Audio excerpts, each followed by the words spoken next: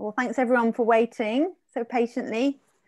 Um, it's lovely to see everyone here. Thank you. Um, my name is Persephone Pearl. I'm a co-director at ONCA, which is an art and environment organisation in Brighton, England.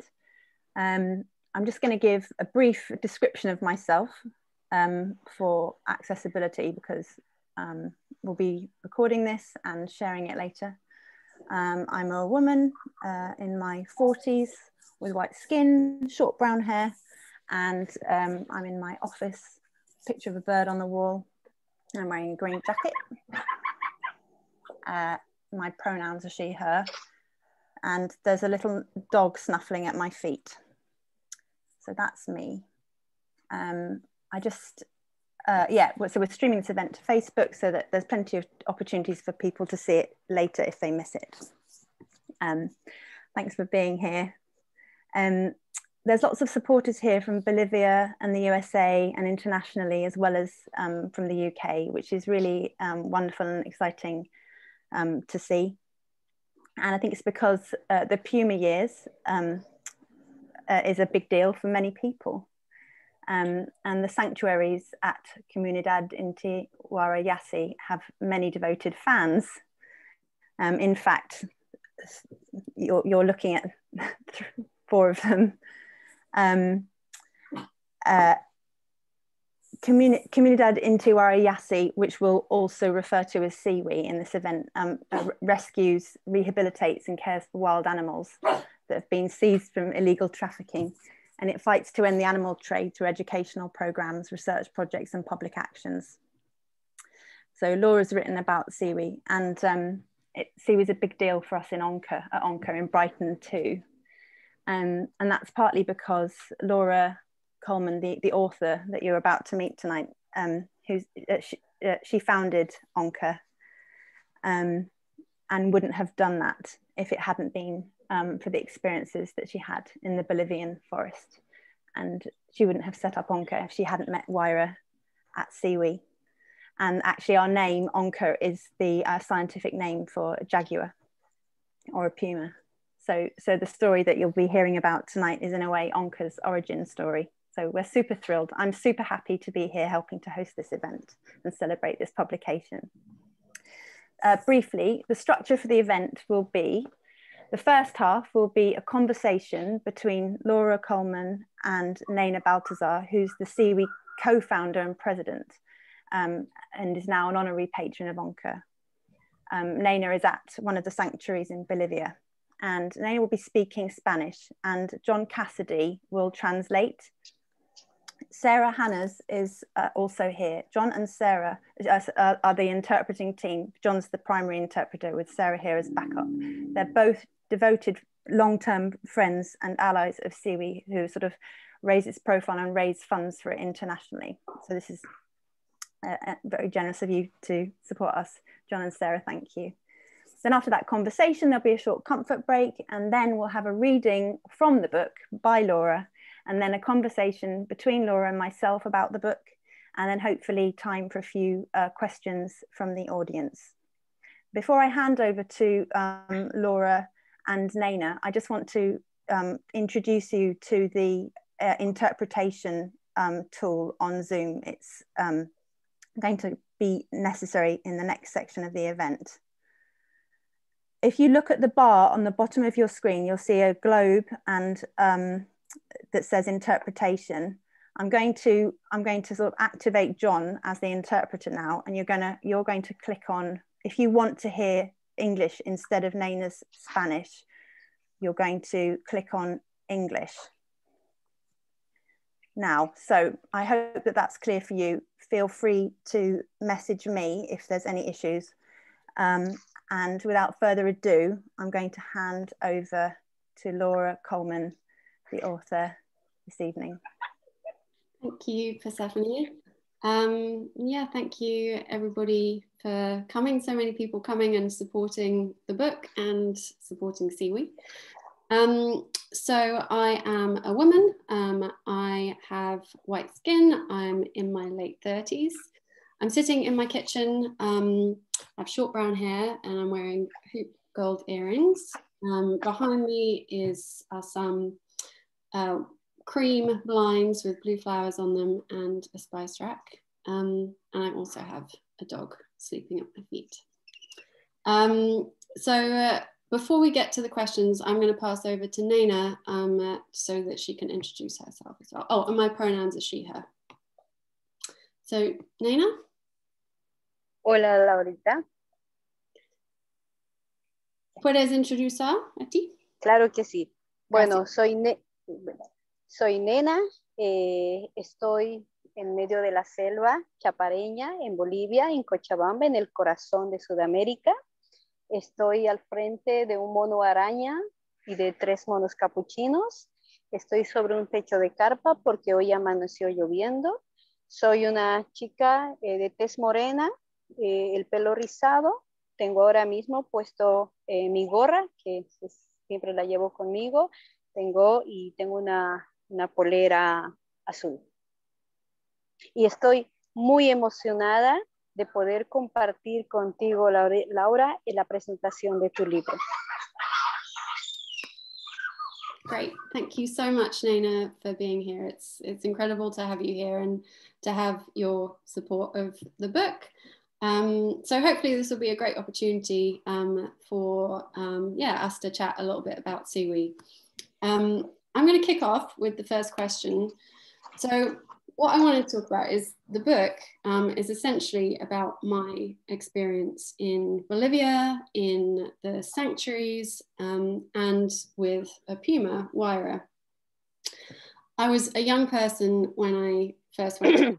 I was doing something completely out of my comfort zone, and you must have had a similar experience when you left the city, La Paz, and set up Bolivia's first ever sanctuary for rescued wild animals which was Parque Machia in your early 20s. So I was wondering if you can tell us um, why you did it and how you felt as a young person taking on such an unorthodox life.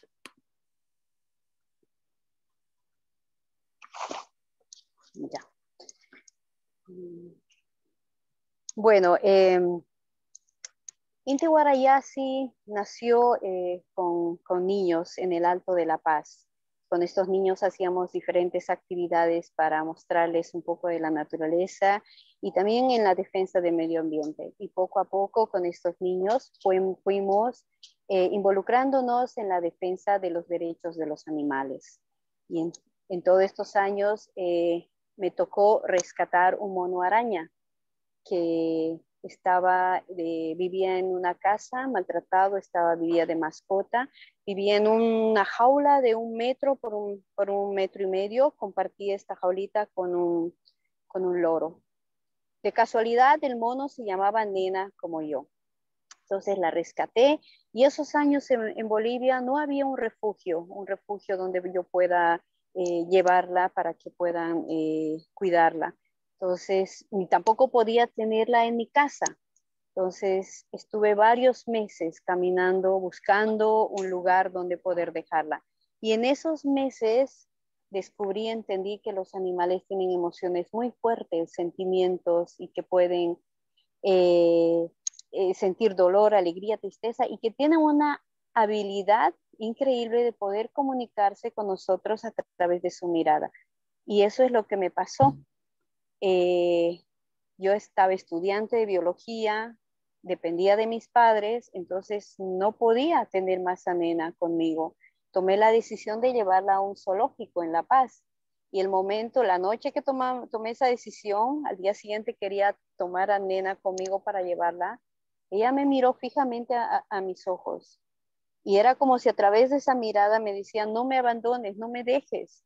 Entonces no pude resistirme a esa mirada, ¿ya? Y te digo, eso llegó a lo más profundo de mi ser y es ahí donde tomé la decisión, dije, bueno, nena, ya no sé qué va a pasar, pero no te voy a abandonar. Y nena me dio una respuesta, ¡uh! un sonido, el típico de los monos arañas que están felices, ¿no?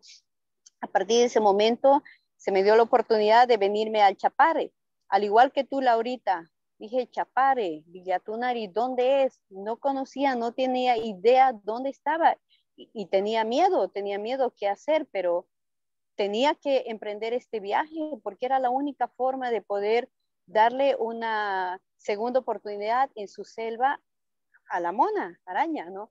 Y es así que tomé mi mochila llena de cargada de sueños, de ilusiones, me vine en un camión con otros cuatro monos porque mis otros compañeros también habían rescatado.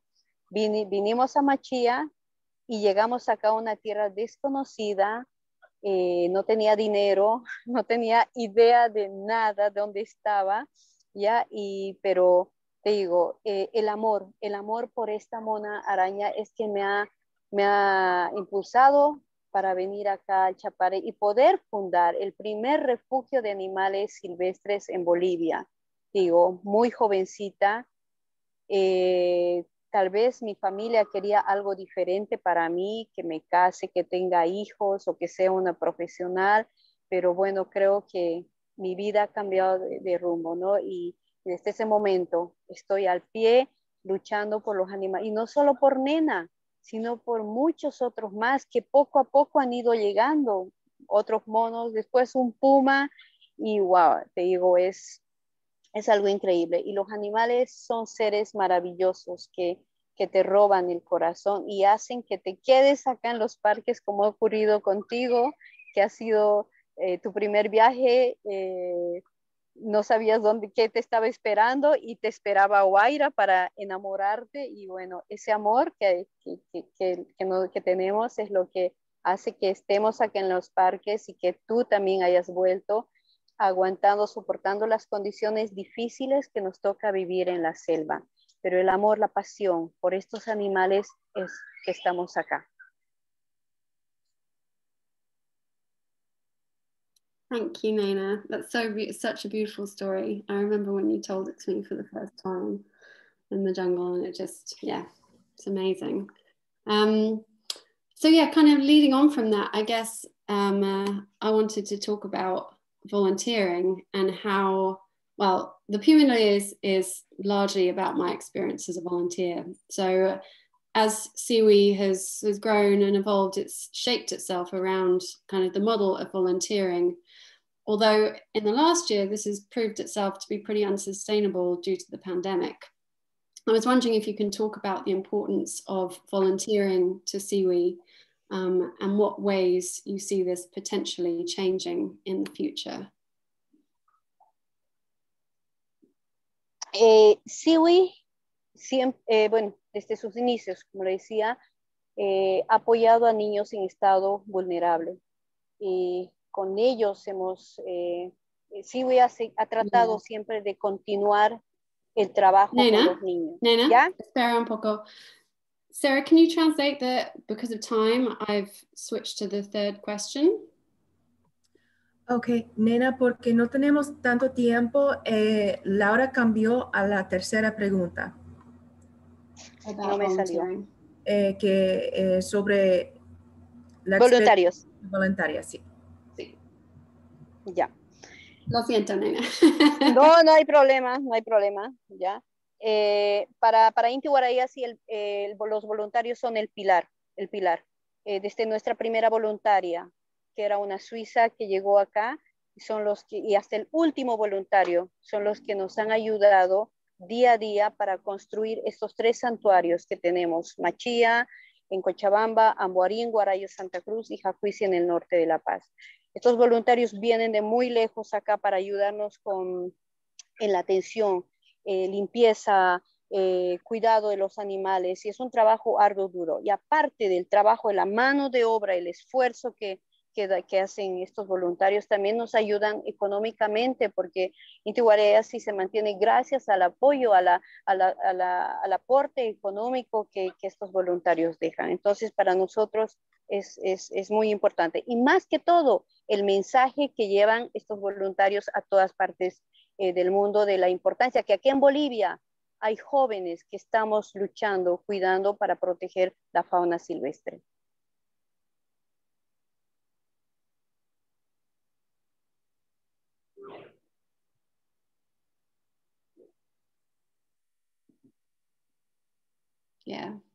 That's that's great, and I think I'm actually going to skip back to this to the last question because I think it's really important. Um, so I'll ask it, and then maybe Sarah, you can just translate that for um, Nena. Um, so yeah, so it kind of leads on. I guess in the UK, it's often thought that environmental and social issues are separate from each other. But CIWY, um, with um, your work with, with people, shows a different way. Um, uh, and what can you tell us a bit why it's so important to you that CIWY works with uh, young people? Eh, ¿Me puedes traducir, por favor, Laura? Sí, Sarah, can you? Ya, yeah, uh, Nena, Laura decidió regresar a la segunda pregunta. Porque pienso que es muy importante. Porque ella sí, ella pensaba que es muy importante. Do you need me to translate the question? Ya, el trabajo con los niños, entendí esto, ¿no? Sí, claro. Sí. Ya. Bueno, es para eh, Siwi ha empezado con niños, apoyando en estado vulnerable.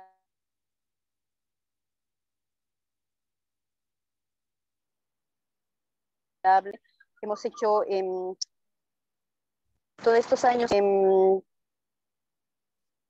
hemos tratado de mantener este, este trabajo de apoyo a los niños. ¿Por qué? Porque es importante generar conciencia, educar, fomentar a estos niños el respeto a, los animales, a la fauna silvestre y a los bosques. Eh, en los parques eh, tenemos jóvenes, niños que han, ah, que han nacido, que, han crecido con, con Inti En el caso, por ejemplo, de, de Ambuarí, que tenemos Oso. Cuando llegamos a Ambuarí, eh, Oso es un niño, bueno, esos años tenían 10 años, ya 10 años, llegó, y vivía en una comunidad cercana que se llama Villa San Pedro, ¿ya? y Oso se involucró con nosotros, creció junto a otros jóvenes, otros niños, en Inti y ahora es todo un, un eh, eh, que es papá, tiene dos niñas. Entonces, es importante para Siwi apoyar a estos jóvenes, porque ellos son el futuro. Ellos dan, y también ellos han llevado el mensaje a sus padres, a sus familias, para que entiendan la, la importancia de cuidar nuestros bosques, que tengan el respeto a los bosques. Y asimismo, Siwi está trabajando en los colegios, en las escuelas aledañas a los parques, como en, en Ambuarí, la escuelita de Villa San Pedro. Los voluntarios van constantemente a hacer actividades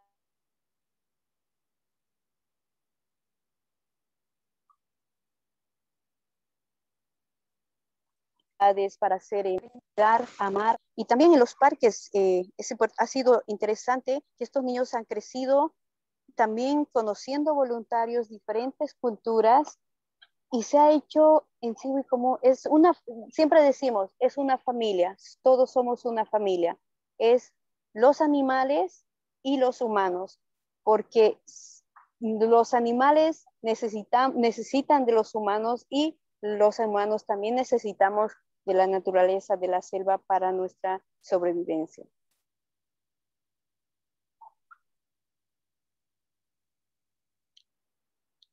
definitely what it feels like working with CIWY. um, yeah, so can you tell us a little bit, can you say what the greatest threats facing CIWY sanctuaries and the wildlife we care for today?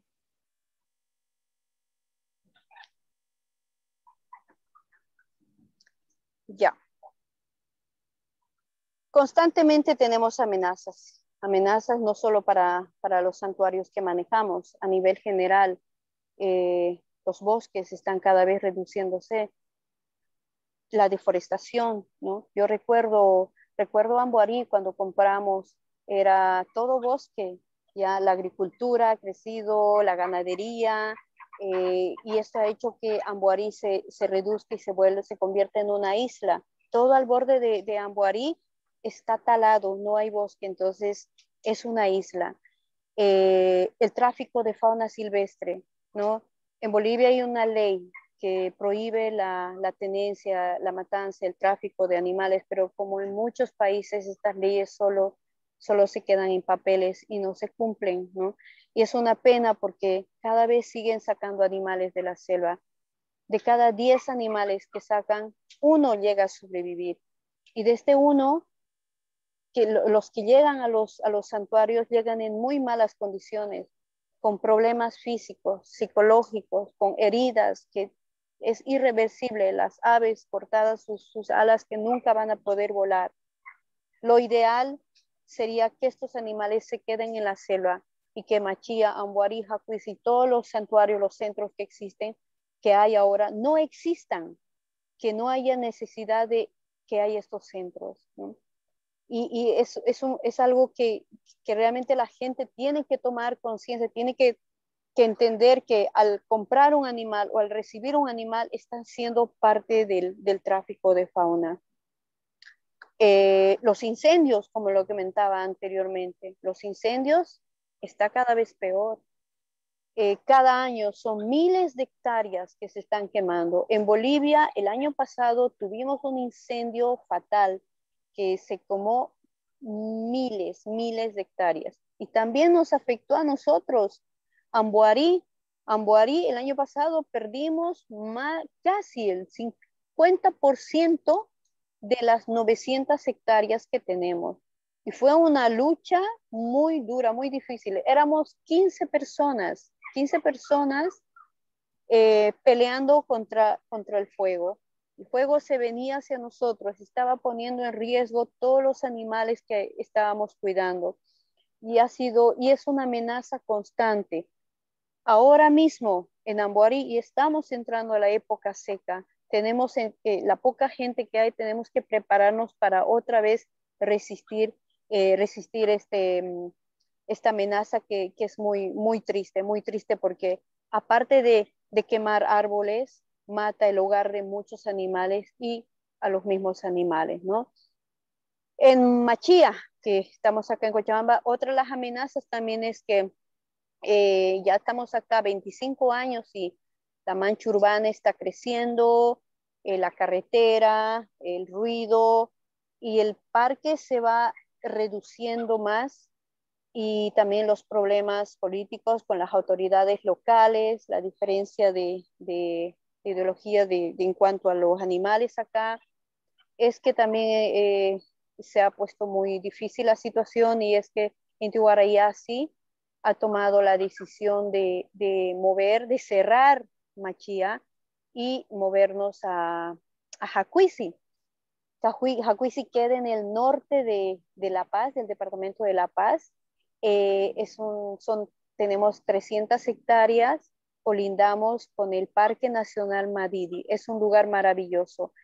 Y estamos moviendo estos, estos 25 eh, años de trabajo, dejamos acá en Machía, movemos más de 300 animales que tenemos acá. Y eso va a ser un, un reto bastante difícil, duro, que estamos empezando ahora y es también gracias al libro de, de Puma Years que hemos empezado a construir las primeras infraestructuras en Jacuisi que nos va a permitir llevar a los animales.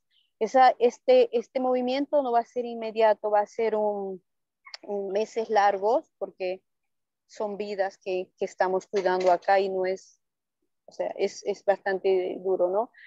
Eh, pero eh, confío, confío de que, de que sí vamos a lograrlo, ¿no? Entonces, las amenazas son constantes, pero creo que ahí es importante que como personas sigamos luchando, sigamos luchando para lograr conseguir eh, el poder conservar, cuidar nuestra naturaleza, toda nuestra biodiversidad, porque al final defender la naturaleza, el planeta no es solo para uno, sino es para las presentes, futuras generaciones.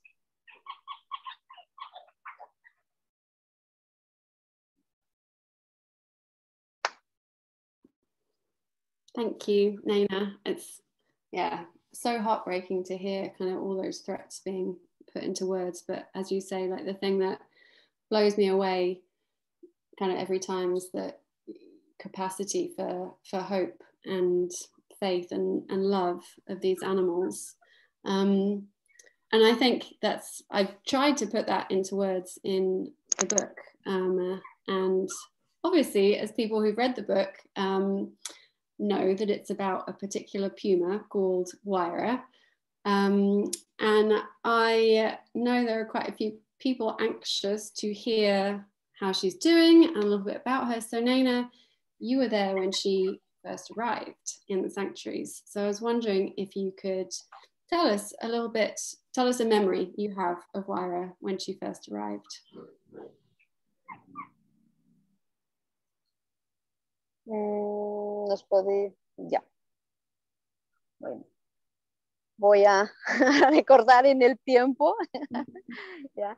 Eh, bueno, Guaira, como muchos de los animales ¿no? que llegan a, a los santuarios de Intihuarayasi, son rescatados de bueno, primero, en la selva vivían felices, lo que hace la gente para comercializar es mata a las madres para arrebatar a las crías y estas crías son las, las que las comercializan, ¿no? Y Guaira es una, es una víctima del, del tráfico de fauna. Eh, y Guaira, bueno, un poquito para contarles, Guaira, le puse el nombre de Guaira, que significa viento en quechua, ¿ya? Y bueno, eh, la historia de Guaira es que ella estaba, eh, vivía en Potosí, en Potosí, con un chico, con un chico que, que la tenía de mascota y que la usaba para hacer su show en la calle, la manejaba, ¿ya? Entonces, eh, eh, Inti sí tenía gente, tiene gente en muchos lugares ya para siempre estar eh, luchando, peleando por los animales. Entonces, eh, personas de Siwi denunciaron a este chico y, y, esta persona se vio en la, en la, que se vio obligado en realidad para traer a Guaira a Machía, ¿no? Cuando llegó Machía, bueno, no sabíamos si iba a quedarse acá o la íbamos a llevar a Ambuarí. Entonces, eh, delegamos un, espacio para ella, ya en el monte, y designamos una persona para que la cuide. Cuando estamos ahí, y un día eh, vienen y me, una persona viene y me dice, nena, nena, Guaira, Guaira se escapó. Yo, wow, miércoles, ¿qué hago? Corrimos todos a buscar a Guaira. ¿Dónde está Guaira? Estábamos ahí. Y te digo, fue un, un tiempo de casi 10 minutos, ¿no? 10 minutos y eh, alguien en taxi viene y dice, nena, hay un taxista y dice que hay un puma en San Lorenzo. San Lorenzo es una comunidad cercana que es a 15 kilómetros más o menos.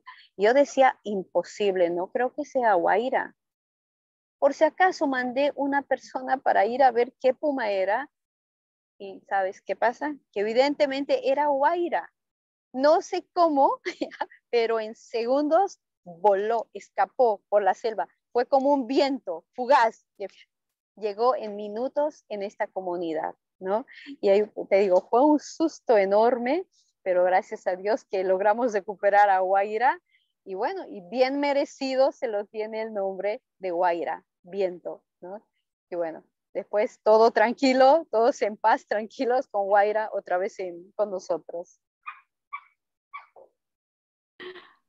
Her name is utterly perfect.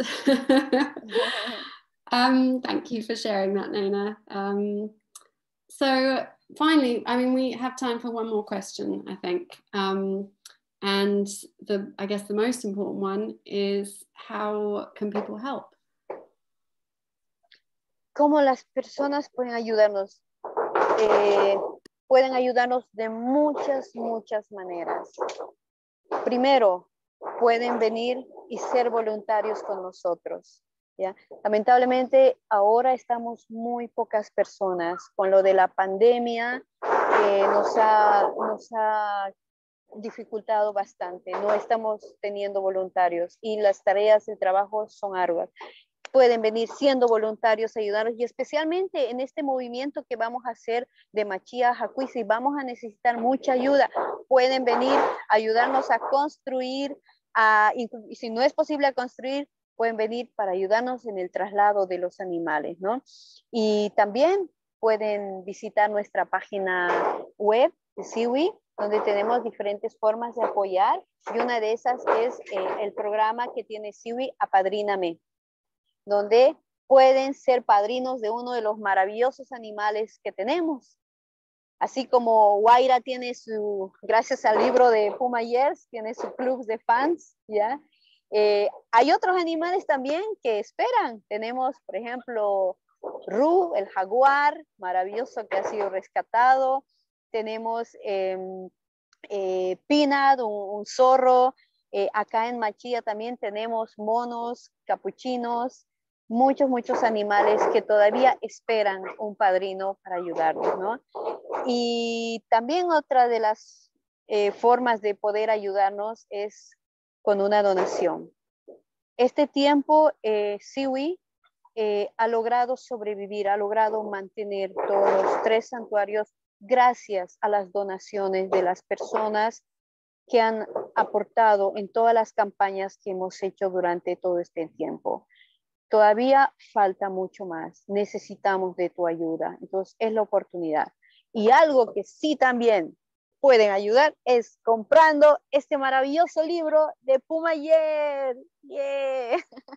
¿No? Que gracias, gracias a este libro, Laura, estamos logrando concretar el, eh, por fin el movimiento a, a hemos podido construir, como lo dije anteriormente, las primeras infraestructuras. Pero hay mucho, mucho más por hacer. El reto es grande, necesitamos de, de tu ayuda, necesitamos de la ayuda de las personas. Entonces, compra y entiende el por qué uno puede ser voluntario en Inti ¿no? Y bueno, y también otra de las formas es llevar el mensaje. Llevar el mensaje de la importancia de proteger, cuidar los animales.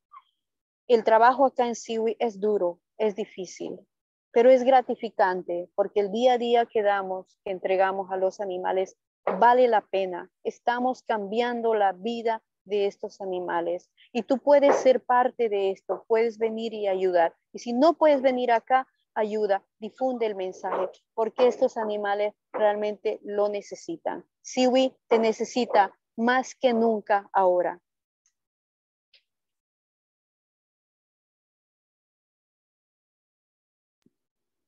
Thank you, Naina. Um, and I think maybe uh, Sarah, you could translate this, um, but I think on yeah, behalf of ONCA and behalf of everyone, just thank you, Nena, for giving your time and being here tonight. Um, uh, I know you're super busy, um, as everyone is in the parks. Um, so I was wondering, well, do you want to translate that, Sarah? Eh, sí, eh, queremos darte nuestras gracias y gratitud porque sabemos que usted es muy ocupada, está muy ocupada siempre en los parques y agradecemos mucho que, que usted estuvo aquí con nosotros esta noche. Um, and we have a few more minutes, so uh, I was wondering maybe you could. Ah, okay. bueno, estoy con, con Marucha. Marucha y yo queremos agradecerles, agradecerles por todo. Ya, estoy acá, es una moda araña muy especial. Es mi, te digo, estos animales son mi inspiración.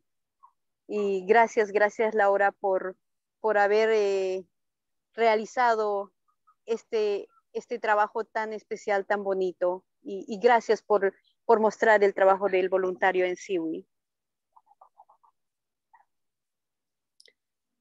Could you maybe tell us Marucha's story quickly?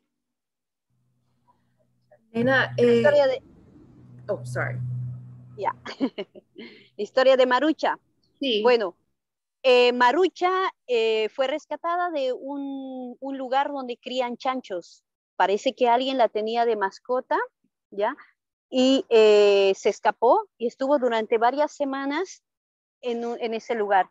Y gracias a los voluntarios de Siwi se logró rescatar. Marucha la trajeron acá a, a Machía, llegó en muy malas condiciones. No tenía pelos, estaba llena de sarna y estaba muy desnutrida, muy flaca. Inmediatamente nuestros veterinarios la cuidaron y bueno, ahora está con nosotros. Lamentablemente ella no pudo integrarse al grupo que tenemos arriba porque es vieja, pero bueno, vive acá con nosotros y generalmente yo estoy al tanto de ella, ¿no? Y bueno, es una mona feliz que ha logrado tener una, una mejor vida. Lamentablemente nunca va a poder ser libre por el daño que las personas le han hecho, pero al menos acá tiene la atención y el cuidado de todas las personas que estamos en Inti Wara Yassi.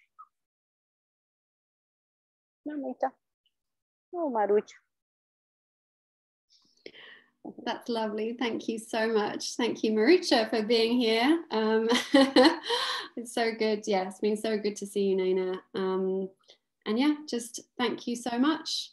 Uh, I think uh, we, we're going to go to a comfort break now, Persephone? Yeah, let's take a, a short five minute comfort break. I think what I'll suggest is that we say goodbye and muchas, muchas gracias to Nena and um, and wonderful to meet you. And and muchas gracias to John and Sarah too. Yeah. Um, so then Nena can Nena can sign out and John and, and Sarah can take a little break and then in five minutes we'll come back and we'll hear um, a reading from the book from Laura. So I'm going to suggest that all of the panelists either sign out or we turn off our screens and microphones just for five minutes So we come back at quarter to seven. Thank you. Bye. Nena. Ciao, ciao. Gracias, bye. Ciao.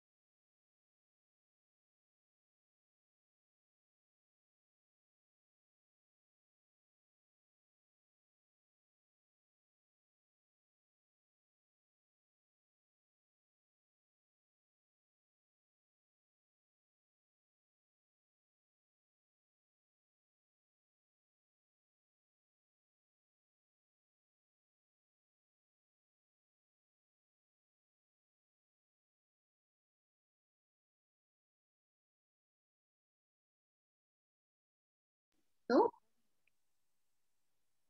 So yeah, I'm going to do a bit of screen sharing. Um, so yeah, um, shall I say what's going to happen? No, you just go ahead. Tell us. Yeah, should I just go yeah, ahead? Yeah, okay. Um, well, I'm going to start by doing a short reading. Um, it's going to be about 10 minutes long. Um, and during it, Persephone is going to share um, a few images. Um, only a few. Uh, yeah. there was a very large selection of images. yeah. Too many. um, okay, so I'm going to read a little section. Um, it's not too far into the book. Um, it's at a moment where I've been in the park in Ambue Ari for about five days. I'm pretty miserable. Um, uh, I'm uh, exhausted. There's lots of mozzies. I haven't quite uh, acclimatized yet. Um, and it's a Saturday. So Saturdays um, is our day off. But I've chosen instead to go and spend the afternoon with Wayra, led by Jane, who's the volunteer who is training me on this Puma, Wayra, who uh, I don't yet understand at all. Um, say, my mum's out walking the dogs, so if there is if there are if there are dogs barking, that's why. Wayra is sunning herself on her throne. Jane and I sit cross legged on either side of the doorway, the cloudless sky punishing, and the compacted earth cruelly hard on my bones. I've been watching a particularly flamboyant beetle trying to bury itself for the last half hour while trying to identify why exactly I am here. Wayra is in a sunny patch in her cage and shows no interest in coming down at all. Maybe she knows it's Saturday, I say miserably, looking up at the sky, which is as blue as forget me nots. I cannot believe I've given up an afternoon of freedom for this. Jane turns a page of her book. It's just good to be here, she says. I stare at Wayra, who has her eyes firmly closed, so firmly closed, it makes me think that it is for our benefit. She doesn't care, I say. Jane just raises her eyebrows and says nothing. I sigh, lean my head back against the cage, and return to the beetle. I can just hear the croak of a toucan somewhere to my left. Above that is the high pitched whistle of some creature I don't know, a truculent line of cacaws, the throaty conversation of a pair of macaws. Lower down is the thud of a woodpecker's beak. I think the tree is hollow, the way the noise sounds empty. Settling between this is the hiss of crickets, the whine of mosquitoes that grows higher as I grow still and they grow bolder, gyrating nearer to my ears. There is the motor of a hummingbird's wings, the rustle of leaves, the muted squeal of toads, the crunch of sticks as something burrows in the undergrowth. I think with panic that these noises will be lodged in my brain forever and I'll never be free of them. But the more I think this, the more I listen. And as I listen, with the heat cushioning my body against the cool mud and the cold metal of the cage, my mind drifts. I become dreamy, the sounds less fractious. The hummingbird's wings relax, the rustling deepens, the crickets lower, the toads sink. The woodpecker slows, the macaws start to speak somewhere else. Time just passes. Silence. Suddenly, I look down at my wrist and realize I don't have my watch. For a moment, I feel panicky, but then I realize too that I don't need it. It doesn't matter. I close my eyes and let the river of jungle wash over me. I think at some point I fall asleep. Laura, what? I mumble, turning my neck with a painful groan and opening my eyes. Wayra is inches away, staring at me with apparent interest. My head has somehow migrated, my cheek now sandwiched against the fencing. I move back quickly, rubbing the indentation in my face. I murmur, unconsciously using her nickname. I'm sorry, princess. Lo siento. Wayra sniffs. Her posture is impeccable, a long line of darkness stretching from the top of her head down the graceful arch of her neck, all the way to the curved end of her tail. Around the edge of her pupils is a line of amber, sharp as an old layer in a fossil. The sun falls across her fur. Jane is already threading the rope through the door, but as Wayra saunters over to lie down, Jane hesitates. Do you want to do it? She asks. Me? I squeak. Jane nods, holding the rope out to me. I stare at it in my hands, as if I don't quite understand how it has got there. It's about the width of two thumbs, the edges frayed. As I run my fingers across it, it feels soft, as if it's been held by many different people before me. Wayra stares at me, waiting. I nod. Put your arm in, Jane says. I close my eyes, take a deep breath, and try to recapture the sounds that lulled me to sleep. I let them wash over me again the toads and their songs, the toucans with their chatter, the heavy thunk of the woodpecker's beak. I let the shadows of the palms sit across my shoulder blades and the heaviness of the air lie over my hands. I grit my teeth over my fear. Then I crouch down and slide my arm through the bars. Wayra continues to lie very still, her eyes dramatically lined with black, as if she's on her way to a stage play. I'm just able to keep my hands steady. Her ears are ever so slightly back. The first time she licks me, I don't know what to do. She's licking me, I hiss. Jane laughs, crouched on the other side of the door, hugging her knees. Don't get too excited, she says. It's mostly for the salt. But Wayra haughtily butts my arm with her forehead, turning it over so that she can lick the other side. It's almost, almost possible to forget that she's in a cage, and I am not. It feels as if it should be the other way around. The jungle out here with her, us in there. It cloaks her, bottle green. Her tongue is rough, ripping. It hurts more than I thought it would, but I don't want her to stop.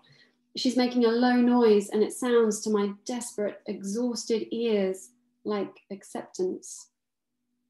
She's leaning over my arms, head down, one relaxed paw balanced up on the edge of the fence, licking, licking, licking. My skin is turning raw and the rest of me feels nothing. It's only this small spot of skin that she's touching. That's the only part of me that exists. Everything else, my whole existence before this fades. She's spirited me away to a place where cages aren't real.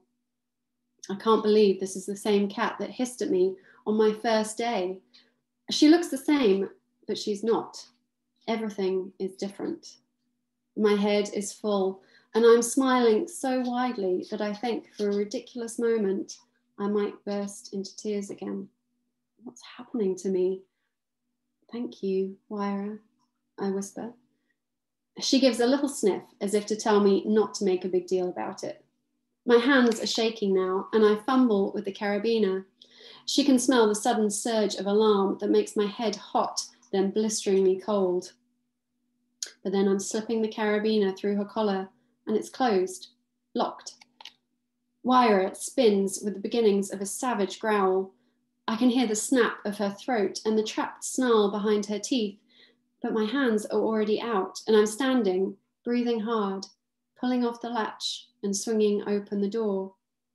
There's no acknowledgement, just a flick of her tail, and then she's ambling away as if this happens every day. For her, I suppose it does, but not for me. Wayra plonks herself down in what seems to be her favourite spot in the middle of the runner it's a little dip of grass between tall, nimble trees with bark that smells of baked pepper and a patch of knee high young patujú. Wayra rolls onto her side, belly blindingly bright, and looks straight at Jane. Wilderness hangs off her. She might disappear. I'd believe it if I blinked and the rope was gone. She was gone. I make to move forwards, but I can't the force around her pushing me backwards without my feet even moving. But Jane walks straight up to her.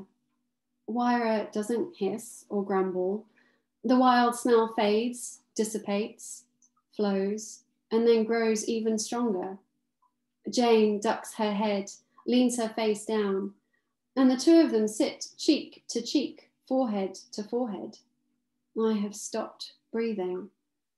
We've spent five days in the boiling heat and humidity being bitten to shit by mozzies just so we can watch this angry, stubborn cat sleep no more than 10 minutes from her cage. I'd assumed that was it. That's what this month would be. Jane turns, flashing me a smile. You can come over. I nod, not able to speak. I look up at the flat blue of the sky. I feel upside down in a sea that should be down, not up, the clouds floating little white boats. I sit down very carefully and hold out my hand. I know Wayra is watching me, so my action doesn't come as a surprise. Just with a heavy sigh, as if to say, finally, she angles herself towards me, and then she's licking. In an attempt to get nearer, she gives a frustrated little grumble, puts one giant forepaw on my leg, immaculately sharpened claws, caught in the material of my jeans, and pulls. I don't look at Jane because I know she'll be smiling, but maybe I am too. With my other hand, I reach across and place it on Wayra's shoulder blade. I let it lie there, getting used to the warmth, the hardness of muscle, the softness of fur, letting her get used to me. I run my hand downwards, across her back, over her hip. I think I can feel the steady thump, thump of her heart. I can't hear anything else now. The jungle has gone, and it's just this. She twists her head, her eyelashes catching in a burst of sun. I move my hand upwards, stroking until my fingers reach her neck. She's velvet. She leans towards me, she smells of the jungle floor, rain and damp mud. The light mottles, making patterns against the line of her spine, the shades of her fur whenever I blink. I wonder what I smell like. Sweat and cigarette smoke, perhaps. Jane has edged away, giving us space. My breathing is slowing to match hers. She stopped licking her strong back paws curled up in the mud, her one front paw still on the edge of my trousers, claws contracted, toes relaxed. Her other paw is tucked under her chin. She's starting to shut her eyes, her breathing deepening. Her chest rises and falls, her eyelashes flutter. She suddenly looks so vulnerable. I feel dizzy again, as if I'm tilting, maybe it's the adrenaline, but it's also because I've been spinning for so long. I've felt lost in the lights and sounds and pressures of moving forwards, moving upwards, moving somewhere. The aimlessness of it making my hands shake and limbs desperately tired. I'm tired now, but it's different.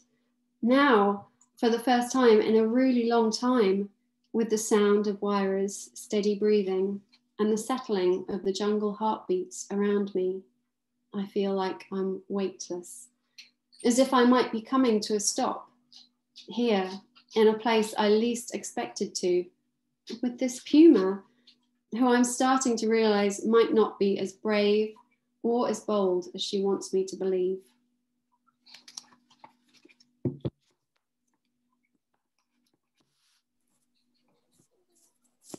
Thank you so much.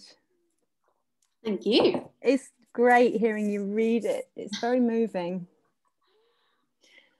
Such wonderful attention to detail, that kind of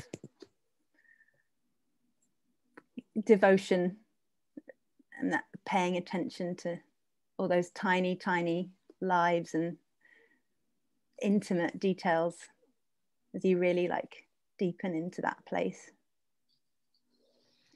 I love reading it. I thought reading it through was going to be really traumatic, but yeah. What, because you were scared? Oh, what, reading that section or reading it in general? Oh, you mean reading the audiobook? Well, I think reading, yeah, reading it over I thought was going to be difficult. But yeah, I really yeah, it's lovely to kind of go back and and have that as my memories. really get the sense of Wayra, you know, you, you, you that you'd been searching, and you were, there was this kind of moment of you realizing you might have arrived. Yeah, ah. definitely. Thank you. Do you want to um, tell us a little bit about how Wayra is now before we get into chatting a little bit about? Um, yes, definitely. Um, so this photo that you can see is actually um, a recent photo of Wayra um, taken by Cleo Sweeson, um, who's the current uh, cat coordinator at uh, the park at Ambue Ari. Um, and this is her hanging out on her new platforms. So she got platforms um, or these new ones uh, last at the beginning of last wet season. Um, so these are really important. I don't know if you can see that there's, um, she's got a ramp at the edge. Um, and because she's getting older, um, I had to check with Nena tonight. She's um, 18 now. Sorry. Sorry. Sorry. Okay.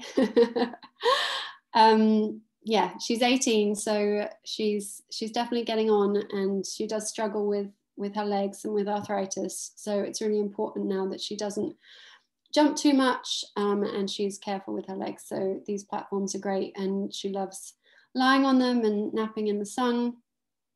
Um, at the moment, she's pretty lucky. She's got two volunteers, um, both of whom are there for a really long time. Um, so one of them is a woman who's there for six months and the other is Felipe, who's the vet, um, which again is really important that um, for older cats like Wayra um, to have that kind of contact time with a vet every day or every other day is uh, really important to monitor her limp, um, to monitor um, her overall health. She gets things, she gets UTIs quite a lot, um, urinary tract infections, which is quite common in, in older cats. Um, so those things is just yeah really important to monitor. But overall, she's doing she's doing pretty well. She's still wired. They told me um, a story the other day about how she was just hanging out, chilling with her volunteers, um, and was having a really good day and was really happy. And then a butterfly came and just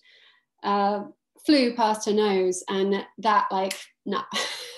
she just got up and was so pissed off and grumpy um, for the whole session after that. So she's definitely she's still got she's still Wayra. Um, but yeah, she's she's doing pretty good at the moment. Call her princess because she's princess. moody.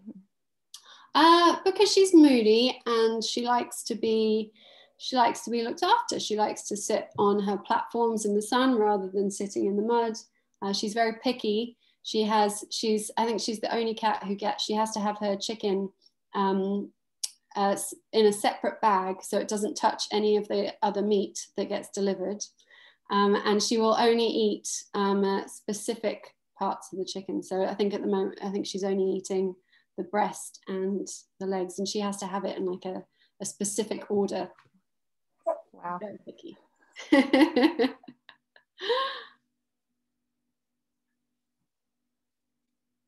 I'm just aware that my dog's my dog's in a foul temper now. Sorry, I'm going to stop sharing, so I can ask you some questions about Princess and the mm-hmm. other denizens of um, the park and the book itself. So yeah, I really loved reading the book, um, and um, I'm sure anyone here who's who's read it too um, will uh, agree that um, one of your key kind of writing devices is is the use of humour. So you kind of really bring. I was laughing out loud quite a lot as I read the book uh, with some of your descriptions of yourself and the kind of the conditions at the park. Eh, the park. So I was just wondering if you'd like to talk a little bit about about that strategy, why you've used humour and and and this kind of self self deprecating humour that you that's your sort of trademark. yeah, I think it's weird because in real life, not in my head, um, I don't think I'm actually that funny. So uh, when people say that they they laughed at the book or like humor was a huge part of it. Um, it's not surprising, but like, oh, maybe I am quite funny, maybe. Um, yeah, I think, to be honest, at the beginning when I was writing it, when I started writing it, I was definitely uncomfortable about the idea of writing about myself. Um, uh, I found that uh, difficult and, and problematic. Um, it felt very self-indulgent and I, yeah, I didn't have the confidence that it was the right thing to do.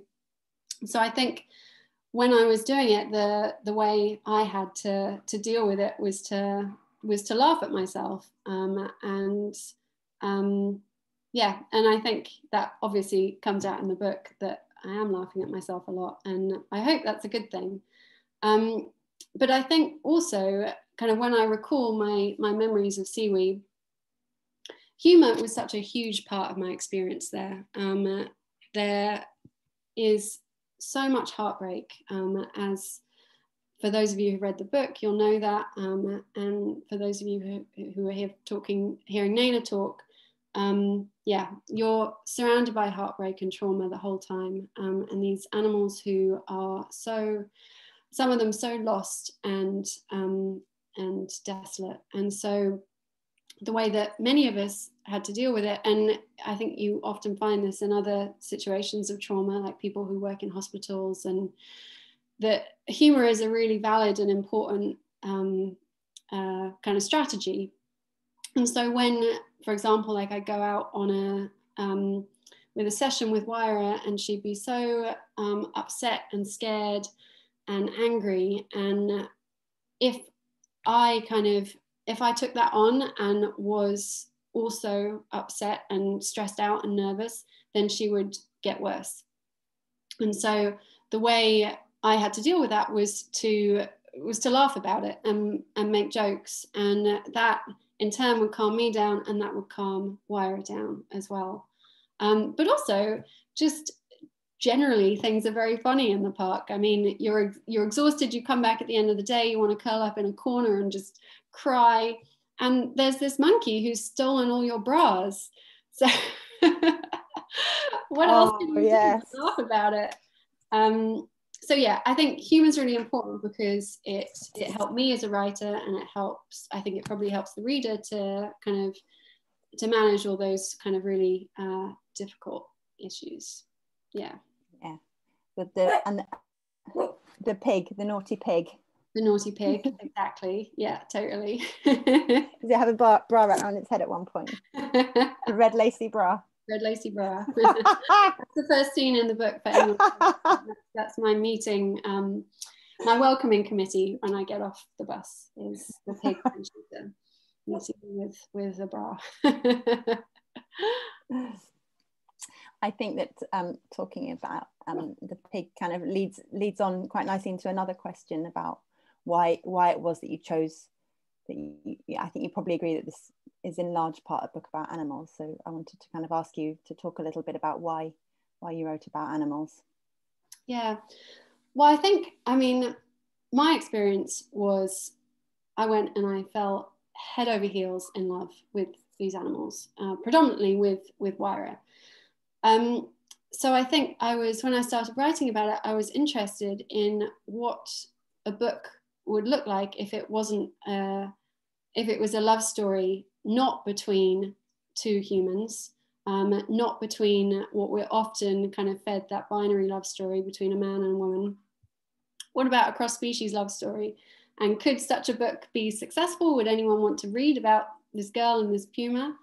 Um, and I think, yeah, when I had that realization that this kind of love exists and it's so important and can be so much more well for me it was so much more vibrant and, and rich than any kind of romantic love that i'd ever experienced. Um, so i think yeah these kinds of, of love stories are really really important. Um, but also i wanted i think i wanted to give space um, to to the characters to the to the jungle as a character and to the animals as characters when so often um, books, particular like love stories in particular, they're very human focused. And when we're so at this time, um, when humans, some humans are uh, so fractured and, and separated from the natural world, um, me included, um, that I think, yeah, I think books like this are, stories like this are really important. Um, but the reality is, in the end, it's not a book just about animals. Um, of course, it's about Wayra and it's about Coco and Faustino, but as Nena mentioned, uh, CIWY was never just a sanctuary for wild animals. It was always a place for people to um, to come and to stand their ground. Um, uh, and I wanted that to be a part of the book. I wanted it to be about kin, about making kin. Um, but also, I think the animals also give a way in um, to the bigger issues, to the to the difficult issues which surround um, surround the sanctuaries. So deforestation, animal trafficking, climate change, forest fires. Um, when I was taught about these issues, it was often through the lens of a species as a whole. So humans as a whole, or jaguars, uh, or polar bears when talking about climate change. And I think the park and the people, humans and non-human who live there, give you a way into something that's really hard to imagine when you just talk about numbers. Um, and I think it's a way of, of caring. Yeah. Um, yeah, and I was just thinking then you do one, there is a character in the book that's Patu, Patu I've always said it Patuju, but it's Patuhu. Patuhu, yeah. Yeah, I hadn't I hadn't considered that that was a character, but it really is a it really is a protagonist, isn't it? yeah. that that leafy plant that you chew that grows so prolifically. Yeah, and that's definitely like it's as much in everyday life in the in the park. Like that is a character. Yeah. You're interacting with this plant every day um, and using it for so many different things. Um, but it's also just there doing its thing. Um, yeah, and I hope I did kind of portray that in the book. Yeah, it's lovely to hear about that. The, the more than human protagonists and, and company. Um, I think that leads us into a, a, a, talking a little bit more about this this idea of empathy. Um, and your own journey, as I'm sure people have, have, will have gathered from just from that short reading, it's this kind of deepening journey into a state of empathy with the place and the creatures and many of the creatures and people, very specifically um, Wayra. So I just wondered about you, talk, if you could talk a little bit about, about this decision to centre empathy and make that such a key element of the book. Yeah, well, I think I think Nena spoke about that too um, how the park and CIWY is all about empathy. Like it, that's where it began with a few humans and a few monkeys looking for a different kind of future for themselves. Um, and I think some might say that a lot of what I write about in the book is anthropomorphic. Um, and maybe it is, but firstly, I kind of think that's okay, but also I don't really like that word at all, um, as we've talked about Persephone. Um, I think it's just another way to claim that humans are better than animals, that humans, specifically white humans, um, have a higher capacity for feeling than others. Um, and at CIWY, I learned that that's wrong. Of course, wild animals need to be treated as wild animals. They're not pets and they think and feel very differently to how humans feel. Um, I have no idea what's going on in Wayra's brain most of the time. Um, but that doesn't mean that they don't think and feel. And so empathy is what I learned at CIWY and it's what Wayra taught me. And so, yeah, that's why it's at, at the heart of the book. Thank you um, another key, another key, so that empathy is juxtaposed with this horrendous uh, other kind of heart to the book, which um, uh, which takes which which which happens in the in the form of this horrendous fire that you experience and that Nena alluded to. Um, and you also write, uh, as the story progresses, we hear again and again about roads the agony of witnessing roads and animals dying on the roads and about clear cutting and the as again as Nena referenced um, the disappearing forest. And I think that you've said to me in in conversation in the past that living at CIWY is, is is is akin to being slammed what is being slammed by apocalypse after apocalypse. So i'm quite interested in that in that word apocalypse. And and i'm wondering if you could say a little bit more about how the love and the empathy helped you to navigate these kinds of apocalyptic horrors thank you for that question um, i think yeah when i arrived at CIWY um, i have been taught that there is only one apocalypse. Like the world, the world singular um, can end only once, um, and that's what we get taught in block, blockbuster movies and uh, all that kind of stuff. And so, I thought for me, and I think I write about this when I talk about the fires. When there was a catastrophe, this massive disaster, in my head, I was like, "This is this is the end. This is the end of CIWY. This is the end of us." But the reality is, and this is something that I learned over the years, is that CIWY has survived catastrophe after catastrophe. And that's what Nena said, like there's always a catastrophe. Um, and animals like Wayra have survived. For, I think, yeah, Wayra was taken out of the jungle when she was tiny. Um, and she was taken to the city. She had to survive that. The city was probably an apocalyptic landscape for her. And then she had to survive again when she brought, was brought to CIWY um, and had to recalibrate that in her brain. Um, but she has survived. And for, for Wayra, I think her fear and her anger is so sharp that you can taste it when you're, when you're near her. But around that, there's always been um, the desire for love and companionship from her. And I've never met anyone who needs and craves love more than Wayra, nor who is more giving with their love. Um, so I think, yeah, each person here, I know there's quite a lot of people here who um, have lived at CIWY and who've experienced it and experienced their own journeys with, with animals like Wayra. Um, each one has their own story about how love has changed their lives and how the love um, for this community has enabled them to keep fighting and to keep surviving. So inspiring. These animals are so inspiring, and the community at CIWY is so inspiring. Mm. I've just got a couple more questions. Um, I'm not sure how much time we'll have left at the end for any audience questions and answers. I'm aware that someone in the audience is very anxious and wants to know how many scars you've got. I think we'll come to that at the end if we have a chance. Um, I wanted to ask what you what it's a sort of technical. I don't know if it's a technical question. What was the hardest thing that you you uh, for you about writing writing the book? Um, okay, so I think at the when I've thought a lot about this because quite a lot of people have asked me, um, and at the beginning, my answer was that it was definitely kind of finding the balance between telling my story and Wayra's, along with the greater global context, which I've discussed. But actually, the reality, I've rethought my answer, and I think it was about having the confidence to do it and to actually write the book and to spend so much time writing about it. And I spent so many years being obsessed with the park and with Wayra and thinking that that was a bad thing. We're taught that obsession is a negative thing. Um, and I read this essay by Octavia E. Butler, who's an amazing sci fi writer. Um, and it's about her kind of early life as a writer.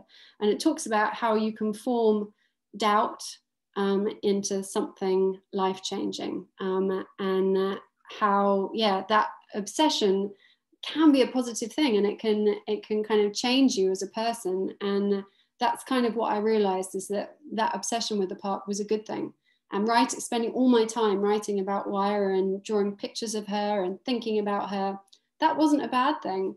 And uh, I always used to say, like, oh, the next time I go to the park, like, this will be the last time, this will be the last time. It's never the last time. And that's okay. Like, CIWY is like carved out a part of my heart and it's there and it will be there forever. It's part of who I am. So, yeah, I think that was the hardest thing. Like, being able to to write it and to put it out there with confidence. But I was so lucky with the support of people around me Um, and now I kind of I see I know that it was a good thing to write, and people have responded so positively to it. So that's just amazing. Yeah, it's great that that I, I love what you said. Thank you for sharing what you said then and, and at the beginning of our conversation about that sort of self doubt or not not not wanting to take up space mm. and that you could kind of censor yourself to the point where you wouldn't go ahead with it because you didn't those feelings of unworthiness but actually once you can kind of get past that and just commit to the passion commit to the positive obsession you totally. really create something that has makes real ripples it was so lovely seeing Nena just saying how the book could help them to finance the move to um. Yeah, it's amazing. Um, I've got one more question for you, and it's obviously I, I have to ask this question as uh, as your as a, a long term um, Onca groupie and a devotee. Um, I wanted to ask you about um, setting up Onca, uh, which you did uh, uh after meeting um, the, the, the people and the animals at um, Ambue Ari. I want you to tell me about setting it up and about your journey with Onca and how your relationship with CIWY's evolved as your relationship with Onca's evolved. So yeah, so when I first came back from uh, Bolivia after being there for, well, being in South America for two years in 2009, the only thing I could do was write about the jungle and make art and, yeah, have that obsession. Um, and then I realized like that was a really kind of valid and amazing way to process um, all these kind of huge issues and emotions that I couldn't process otherwise. So I looked around to see if there was a an art space or a gallery that um, was a space where people could come and and address and talk about um, these sorts of stories about environmental justice.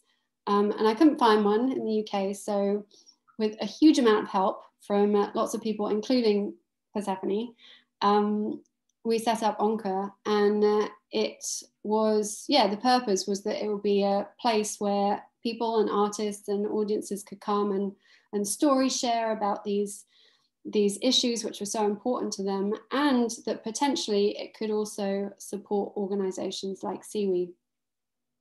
But I think when it started and when I started it, I thought because of what I've been taught, the best way to get people interested was through stories about animals. Um, and that's why I called it Onca, um, Panthera onca after jaguar. But I suppose, I think as I've learned both um, from CIWY and from the community that I've encountered around Onca, is that it doesn't work if you just tell the animal's story. Um, they don't exist in a vacuum. Um, uh, they're all part of this kind of entangled web of issues and stories. Um, and it's really important to tell all the stories and the human ones that run alongside and with the animal stories.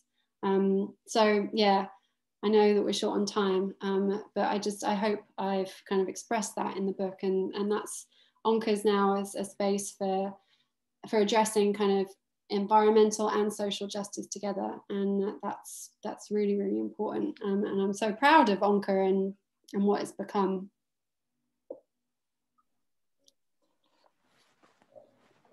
It feels like a landmark event tonight. I just want to say I'm really savoring this conversation. I'm so happy. I feel like it's such a big deal to be here together. I know that lots of your family and friends are here and long-term supporters of CIWY and um, you know lots of lots of people and long-term supporters of Onca and some of our trustees and things are here. So it's really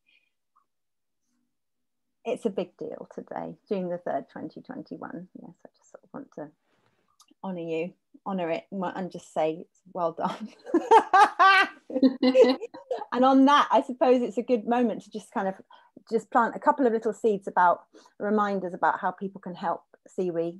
I know that Nena touched on it earlier, but do you want to quickly do a recap?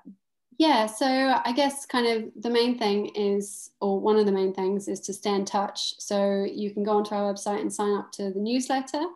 Um, and share the story, um, share what you've learned tonight, share what you um, have read about in the book. But I guess there's kind of there's twofold um, things, twofold ways to help. So the first is to donate. um, uh, we, as Nena said, like we need a huge amount of money to, for this move um, to Jacuzzi. Um, and so anything, people have already been so generous. And this last year over the pandemic, CIWY has um, kind of stayed alive with the, with the help and support of our international community, which has been absolutely incredible. Um, so yeah, any help that you can give, the most like what's the most helpful are kind of recurring donations that kind of help with our, our daily funding. Um, yeah, so that helps kind of pay for the animals' care, the animals' food, um, and the day-to-day maintenance of everything in the in the sanctuaries. So yeah, sponsor an animal. Um, Wayra already has heaps of sponsors from the book, which is amazing. she's an A-lister. That's what we're. She's, she's total princess A-lister. but there are loads of other animals on there who uh, could really do with sponsors. Um, so yeah, or just if you if that's too much, then just yeah, anything um, would be amazing. Um, and then the other side of it is when it's safe um, and when if you feel kind of able to do it, then go out and volunteer. And if you can't go out and volunteer, just send us a message um, uh, and go on our website and send us an email or through social media and uh, tell us other ways that you can help. We're always looking for kind of fundraising support or, yeah, anything like that. So, yeah, volunteer in the park, volunteer globally outside the park, and donate and what's. The, what's the name of the US based um, fundraising partner organization that Sarah helps uh, run? So the Bolivian uh, um, uh, Land Trust Alliance. B A L T A. Yeah. Um, okay. And there's FIWI in the UK. Yeah, so Friends of Inti Wara in the UK, and there's also um, Friends of Inti Wara Australia. Um, uh, now it's one minute to the end of the event so i think probably i think probably the, there's only been uh, we've got one question mainly in the uh, in the q and a and i think probably it's um, i think that's just the one that we'll we'll we'll answer and just say that if people want to um, ask anything else they can email info at onca.org.uk and we'll pass any questions on to you. Well we'll answer them all we'll pass them on to you or Nena or whoever's relevant um, Melanie Cairns has asked, How's your health now after all the extreme situations in Bolivia? You look great, but you must have scars. uh, thank you for that question. um, uh, yeah, I'm, I'm okay. Um, it, you recover pretty quickly. Um, yeah, and uh, the on one level. On one level, yeah. On an emotional level, you never recover. but that's not necessarily a bad thing. Um, I have a few few scars from the from the Bora Bora and the and Wayra's love bites, but they're not not bad scars at all. And the kind of yeah, the main thing is kind of the effect it has on you as a person um, rather than physically. It just yeah, totally changed my life and changed the lives of so many other people. Um, yeah, I want to go into, I want to digress and talk about bot flies, but. Uh, um, well, thank you all for coming. Um, just, just a few little congratulations in the Q&A. Um, Terry Max says that they're so happy they stumbled across your book and Melanie Ken says it's an incredible landmark. So um, thank you for those questions and comments. Um, I'm going to, we're, we're going to play you out now, aren't we? Yeah, we're going to play you out. It's so exciting. I love um, Love Fest. yeah, it's a micro love fest. This is like the this is the edited highlights of the Wayra Love Fest, isn't it? Oh, uh, Julie, if you want to paste anything in the questions, go ahead. Oh, someone else has. Oh no, uh, Alan says, "Great job, thanks." Okay, we're going to play you out. So, uh, so can I just say quickly, like, yeah. thank you so much to everyone who has bought the book and yes. has donated to CIWY because they've read the book. Like that is absolutely incredible. And uh, I'm just kind of so overwhelmed by the messages of support that I'm getting. Um, and love for for Wayra and for for me, which is amazing, and for CIWY. So that means so much and it definitely makes makes it all worth it. yeah thank you for coming tonight everybody and thanks to those of you as well who, who gave some very generous donations um, uh, for this evening's event laura have you got any other plans to talk about the book uh, not yet but i will keep people updated yeah Laura, maybe would you like to would you like to paste your preferred um, shop link into the chat so that people have got a link to the to the book? Okay, well, many thanks all, and many thanks, Laura. So lovely to be in conversation with you tonight. And thank you, Persephone, for hosting. Yeah, for hosting. It's our pleasure. I think quite a few of the team are here in the audience. okay, right. Ah.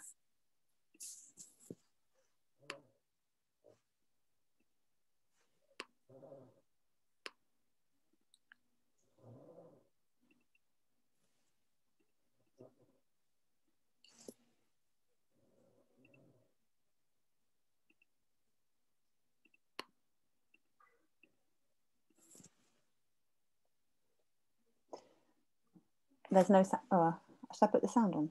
Yeah, put the sound on.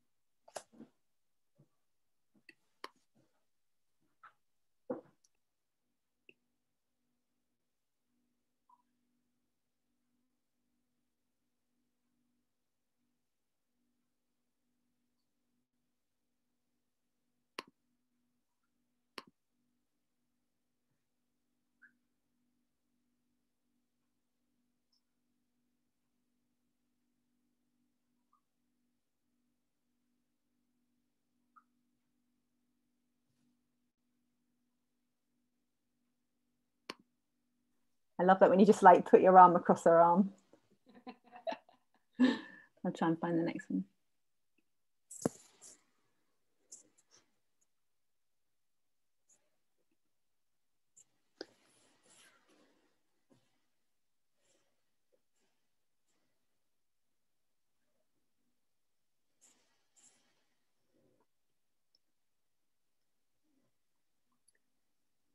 I'll say that this was uh, when she first moved into her um, into a big enclosure. So this was her kind of exploring the trees.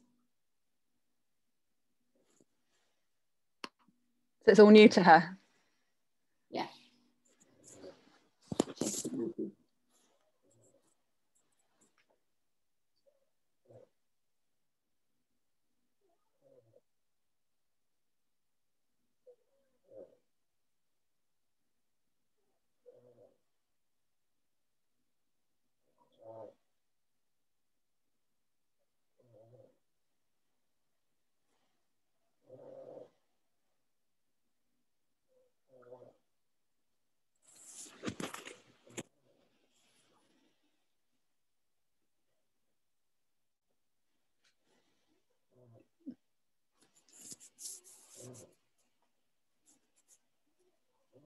Do you not like getting wet? She hates getting wet. so pretty. oh. Should I get the um? Should I try and get the one of the monkeys? No. I think we're done. Okay. cool. Um, yeah. So uh, Robin wants to know if it's on Kindle. It is on Kindle. Yeah. Uh, and Connie says, "Can we get the recording?" Yes, it will be on the Onca Arts YouTube channel, but we're going to subtitle it first, so it might take a while. Yeah. So how Yeah. long will it take? I don't know. It's there's a capacity issue.